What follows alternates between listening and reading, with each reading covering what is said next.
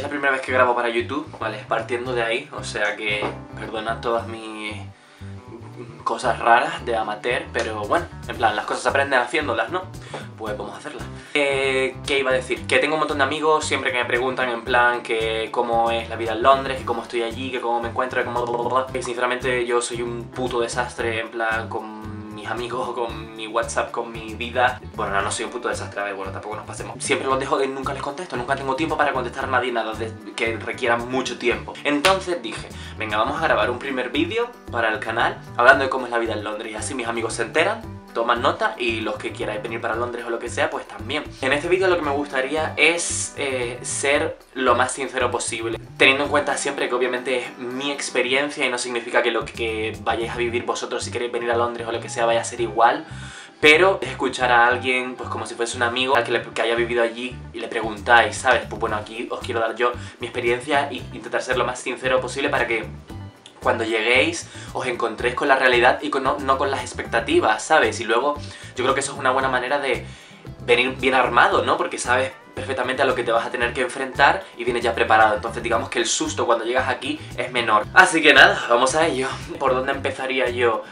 Bueno, yo llegué a Londres hace dos años, eh, estaba cagadillo, sinceramente, lo cual fue bueno, creo yo, para mm, el susto, porque cuando vienes cagado, pues de repente lo que te encuentras es pues, el acojone máximo y todo está acorde. Sin embargo, cuando vienes en plan, ah, súper excitado, en plan, voy a tener la mejor puta vida londinense del mundo y de repente llegas aquí y te estampas con lo que es la vida real en Londres, pues es como un súper bajón, de hecho bueno, conozco gente que le ha pasado. Pero no siempre sucede igual para todo el mundo, así que ya os digo que siempre, siempre uno tiene que vivir sus propias experiencias y luego poder contarlas, que precisamente lo que yo estoy intentando hacer para aportar a quien sea algo que le pueda ayudar, ¿vale? ¿Qué es lo que te encuentras cuando llegas a Londres? Voy a intentar ser lo más sincero posible. Esto es una ciudad de trabajadores masiva, ¿vale? En plan, aquí la vida glamurosa de voy al museo, que es gratis, ¿sabes? En plan, lo haces muy pocas veces porque realmente casi no tienes tiempo, o sea, es una... La gente tiene unas vidas muy frenéticas, eh, es una ciudad bastante en la que es curioso porque puedes ir en el metro apretadísimo con todo el mundo, en plan de tener a gente desconocida aquí, ¿sabes? Pegados a tu cara y sin embargo ni siquiera mirados a los ojos o yo qué sé, sonreíros mínimamente como en plan, vaya cuadro, ¿no? ¿Sabes? No existe ese tipo de complicidad. A veces hay pequeños momentos así, en plan de luz humana, pero no es lo que prevalece en absoluto. Es curioso porque te sientes muy rodeado de gente, pero a la vez puedes llegar a sentirte muy solo. Aquí hay una multiculturalidad y diversidad de nacionalidades inmensa, pero sin embargo la gente está luchando por prosperar en sus carreras, en sus ámbitos de trabajo, en sus mundos profesionales, en su propia vida y la verdad es una ciudad de luchadores un poco amargados. bueno, en fin, me estoy yendo por las ramas, así que me reubico. Te vas a encontrar alquileres muy altos por viviendas no muy buenas. Te vas a encontrar compañeros de piso si compartes piso. Si te vas a una casa, pues afortunadamente no. Pero si estáis buscando compartir piso, tener una habitación, etc., te vas a encontrar eh, eh, alquileres muy elevados y compañeros de piso muy indecentes. Gente muy indecente, te la puedes encontrar. Puedes tener suerte. Yo conozco mucha gente que está compartiendo piso y está viviendo en una casa llena de armonía y todo el mundo está muy contento ahí dentro no vas a pagar menos de 500 libras por una habitación, ni de coña. Puedes irte un poco más hacia afuera, pero luego cuanto más afuera te vas, más tienes que pagar por el metro.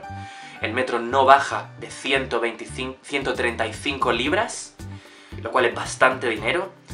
Si sumamos a eso una habitación de 500 libras como muy poco, de verdad os prometo que no vais a encontrar nada por menos de 500 libras, os lo digo ya. Venid con eso en la cabeza porque a no ser que conozcáis a alguien y os haga un favor o que os liguéis a algún casero, eso no va a pasar, ¿vale?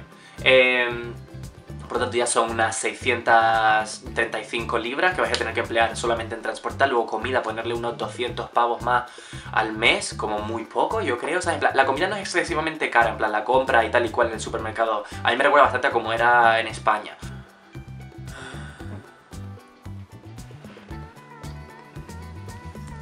Vamos a ver, es que estoy teniendo un problema que viene siendo que tengo un montón de cosas que decir, pero es que me lío como una puta persiana. Si no tienes inglés, no te tienes que preocupar demasiado, porque puedes encontrar trabajos también y puedes ir aprendiéndolo aquí.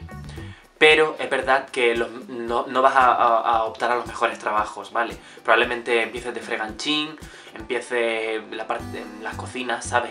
No de cara al público, lo cual es un trabajo bastante duro generalmente, a veces bien pagado si eres buen cocinero, y pues eres cocinero, necesariamente no es que no estés fuera porque no sepas inglés y por eso te ponen dentro, sino porque sabes cocinar. Entonces hay sitios en los que puedes trabajar como cocinero y cobrando bastante bien. Pero si no, si simplemente es que no sabes inglés y pues a lo mejor empezarías a lo mejor limpiando, eh, más, más fuera de cara al público, haciendo trabajos en plan en compañías de transporte, en cosas de ese tipo que a lo mejor son un poco duros o con horas un poco complicadas o no tan bien pagados, de seguridad, ¿sabes? Este tipo de cosas. Pero bueno, te puedes encontrar un trabajo, te da tiempo de vivir aquí, de empezar a lo mejor a estudiar inglés. Yo os recomendaría también que fueses a una academia si no sabéis inglés, porque la gente piensa muchas veces en Londres voy a poder aprender inglés no es tan fácil. No es tan fácil porque, por lo que te digo, si vienes sin inglés, generalmente te vas a desarrollar en ámbitos en los que hay gente que no habla inglés que están ahí a lo mejor por el mismo motivo que tú, y hablarás con ellos en inglés, pero será un inglés un poco chapucero, en plan, estarás hablando con ellos rollo pues con tu inglés que traes, con tus conocimientos, sean más o sean menos, que no tiene nada de malo, y esas personas pues con los mismos, ¿sabes? Y ole su puta valentía, porque luego aquí los ingleses ninguno habla español. ¿Sabes lo que te quiero decir? Bueno, ni español, ni francés, ni ningún idioma. Dan como por hecho que todo el mundo tiene que saber inglés y todo el mundo tiene que hablar inglés, porque es el idioma internacional y entonces lo más probable es que tú te relaciones con gente que tampoco habla muy bien inglés, pero o, desarrolláis en inglés. Entonces ya empiezas a darle un poco a la lengua, a poner la cabeza. Yo os recomendaría ir a una academia, porque os va a dar ciertos momentos para vosotros asentar lo que habéis aprendido durante la semana, para aprender algo nuevo que practicar en la siguiente semana y sobre todo porque también tendréis un profesor nativo y podréis hablar con él. Hay academias muy baratas, ¿vale? En plan, o sea que es posible. No te dejéis llevar por la pereza de ahora ir a una academia. Realmente es lo que os va, os va a ayudar a perfeccionar vuestro acento y a Luego ya dentro de un año, si vuestro inglés ha mejorado, podéis optar a un trabajo en plan en el que os desarrolléis más con gente nativa. Y entonces ya a lo mejor podéis dejar la academia y ya mantener esa rutina de estudio y de curiosear el idioma seguir progresando por vosotros mismos. Cuando llegáis, lo normal no es desarrollaros con ingleses. Los ingleses se mantienen en su mundo inglés, ¿vale? No, no es siempre el caso. Yo tengo amigos ingleses muy majos, pero... Mm, pero en la gran mayoría de los casos sí es así. En plan, los ingleses viven en su burbuja inglesa y se desarrollan con los inmigrantes para lo justo y lo básico. Y ya está. Y es un poco así. Y no es ni triste ni es no triste, es la decisión que, que ellos toman. Cuando vienes aquí, no quiero criticar la cultura inglesa, yo tengo mi opinión hacia la cultura inglesa, obviamente, pero lo que sí es cierto es que la cultura inglesa es una cultura peculiar, distinta todas las culturas lo son, la inglesa es muy peculiar y es muy de ellos, ¿entiendes? Entonces eh, no se puede cambiar algo así de la noche a la mañana. Hay gente que por su personalidad a lo mejor es un poco más flexible, pero bueno, la cultura tiene un gran impacto en todos nosotros. De hecho es muy normal que acabes, que los inmigrantes tengan grupos de amigos inmigrantes, todos ellos, quizás por el hecho de ser todos inmigrantes, quizás por el hecho de que la cultura inglesa es, real, inglesa es realmente una cultura algo peculiar y distinta a bastantes otras culturas europeas o no europeas. Y también es normal porque al fin y al cabo es su idioma, es su jerga, es su, su humor y ellos se entienden de esa manera porque han sido criados con esa televisión, con esa lectura, con esa lengua, con ese todo y hay una barrera entre inmigrantes y, y británicos bastante notoria. seamos honestos, en plan me gustaría decir lo contrario sinceramente, pero no es el caso, ¿vale? Y es algo que creo que si vais a venir aquí tenéis que saber porque lo vais a experimentar. Bueno, pues nada, que otra vez estaba grabando y otra vez... Madre mía... El tiempo en Londres, el tiempo, el clima en Londres es... Una mierda. Mm, vale, no voy a engañar, el tiempo aquí es bastante gris. No es una mierda si os gusta el tiempo gris, ¿vale? En plan, al final, para gustos colores. Eh, pero es bastante gris el día. Eh, yo de hecho para grabar vídeos me he tenido que comprar un aro de luz antes de empezar porque desde las 4 de la tarde, ahora mismo estamos en octubre, estamos en septiembre, no lo sé. Noviembre, noviembre ya. Y los días se ponen grises súper Son las 12 de la mañana y... Pues bueno. Esta es como está el tiempo. Y bueno, a ver, no es que llueva tanto como yo esperaba, en plan, podría llover mucho más. Pero, pero los días son muy grises y eso es bastante triste para el alma. Pero al final uno se acostumbra, como a todo, ¿sabes? Ahora me gustaría puntualizar cosas buenas que tiene esta ciudad, ¿vale? Porque no quiero dejar un mal sabor de boca, eh, me he enfocado en las realidades que uno tiene que enfrentar viniendo aquí, pero me gustaría eh, también dejar claro que hay un montón de cosas y oportunidades en este país que os pueden venir bien. Para encontrar trabajo, como os he dicho, hay la posibilidad. Por ejemplo, eh, tienen una, amplia oferta de becas y préstamos. No hay que asustarse con la palabra préstamo porque son préstamos que se devuelven eh, muy fácilmente. Ahora os explico cómo van. Hay habitaciones que salen y se alquilan cada día.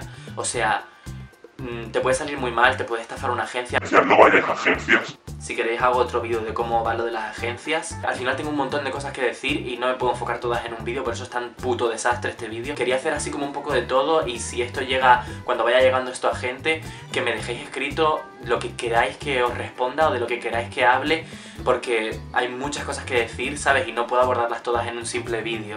Quizá vuelva a hacer otro y otro y otro de cosas más concretas en las que me pueda detener. Pero ahora estoy haciendo como un barrido general para quien le pueda servir algo de lo que digo, ¿vale?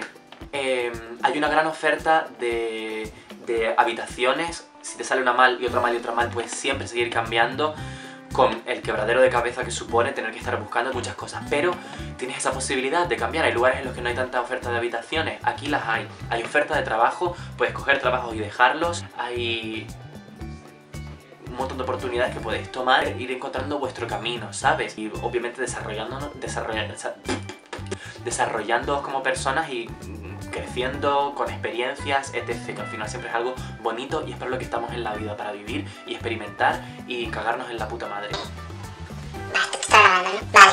En cuanto al tema estudios, eh, hay un montón, una oferta enorme de becas. Eh, se puede estudiar un montón de cosas, puede, tienes la opción de estudiar en escuelas, tienes la opción de estudiar un montón de, de, carreras de distintas maneras, eh, a tiempo partido, presenciales, no presenciales, combinarlos con trabajo, tal, optando aún así a las becas, aún vayas o no vayas, en plan, todo depende del grado que estudies, si estudias una carrera, si estudias un diploma, si estudias un lo que sea, pues tendrás unas u otras ayudas, pero las hay. El caso de que las tengas que devolver es simplemente una vez comiences a trabajar en este país, todos los meses, según lo que cobre, se te, se te extrae una pequeña, pues 30 pavos. Si estás cobrando 25.000 eh, pavos al año, pues te quitan 30 pavos al mes, que es algo que no vas ni a notar. Si no llegas a ese, a ese sueldo anual, no van a empezar a cobrarte el, el préstamo, lo cual es maravilloso porque esperan a que tú puedas prosperar ¿sabes? Para que puedas pagarlo. Y si no, pues no pasa nada. En plan, caduca, ¿sabes? Expira al cabo de ciertos años si no has sido capaz de, pagarlo.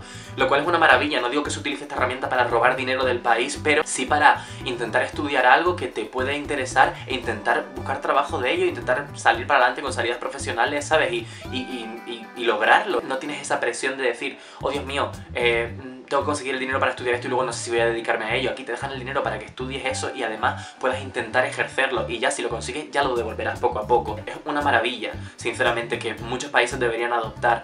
Y, y aparte de eso, ¿qué os puedo decir? En plan, museos, arte, arte cultura, eh, eh, muchísimos eventos gratuitos que podéis disfrutar, ¿sabes? En plan, hay un movimiento de vida cultural en esta ciudad increíble y maravillosa, ¿sabes? En plan, una de las mejores cosas de esta ciudad, ciudad europea del arte y la cultura, definitivamente, ¿sabes? En plan, no cabe duda de eso, de que Londres es esa ciudad, parte de esa arte y cultura robada de otros países.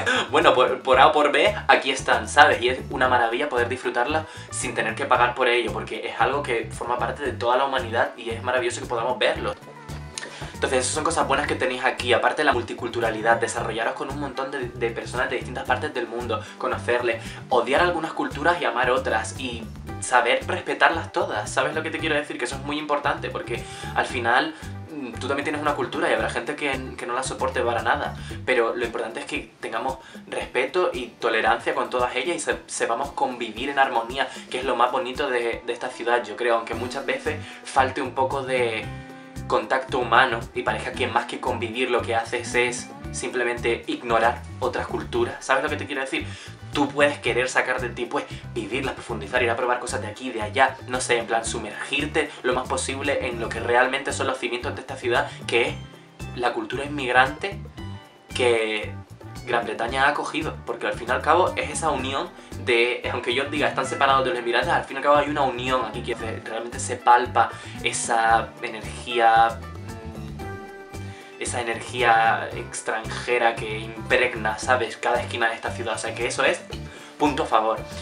Entonces, ¿qué os puedo decir? Que sí, que Londres es una ciudad loca, dura, frenética, a tope, pero que está llena de cosas sucediendo en todo momento y que a veces eso puede ser abrumador y a la vez también puede ser tu gran oportunidad de salir de todo lo que no te gusta. Entonces es simplemente una gran experiencia que uno tiene que vivir por sí mismo, pero siempre tiene que tener claro que es una ciudad de luchadores y, y, eh, es a veces abrumador, ¿vale? Entonces llegar aquí puede ser un poco duro, pero date tiempo de vivirlo para poder marcharte, antes de simplemente decir, me voy, me voy, esto es una locura.